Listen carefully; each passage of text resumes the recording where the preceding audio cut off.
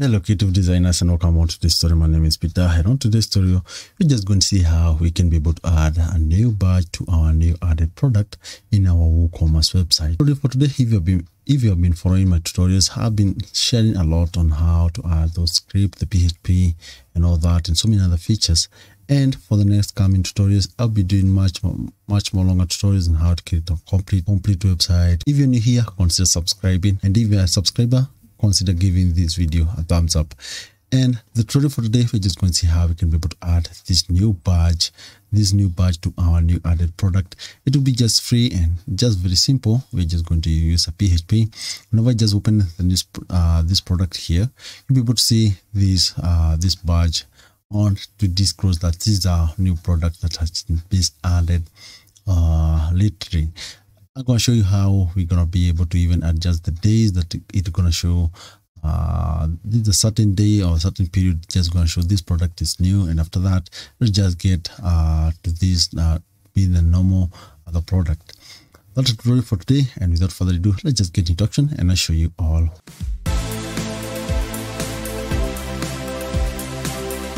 So the first thing we just need to do, we need to get the dashboard and on the dashboard menu, we need to get the plugin. We just we need to install the plugin that will facilitate on us be able to add the code to our website. On the plugin repository, just search for code snippet. It's a free plugin, but work amazing.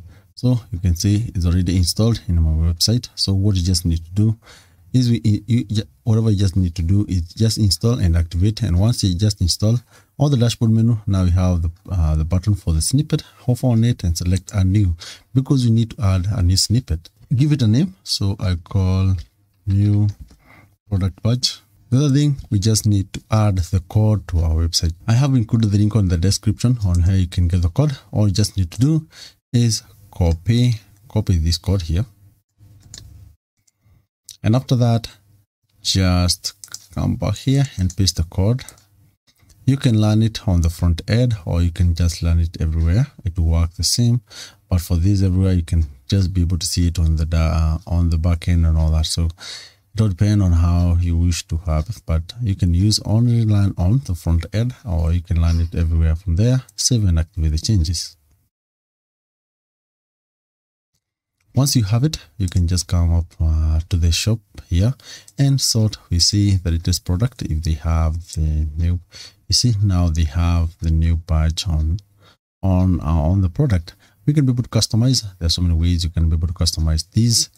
Uh, i have included if you can have the ribbon and you can also have the circle badge. So this is css you can just be able to customize and have it customize and have uh, maybe you add some color and all that. So what you just need to do head over back here and go to appearance and head over to customize.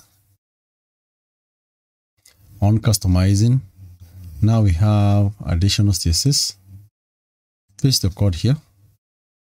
Let me just go back let me say first of all select uh, the so here so that we can be able to see the result how things are applying.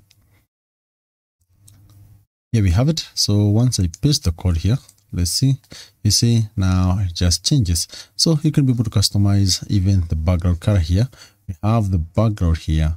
So if you want to change the color here all you just need to do is go and search for color codes. There are so many uh, websites they are providing the color codes. You can adjust here and search for a color code.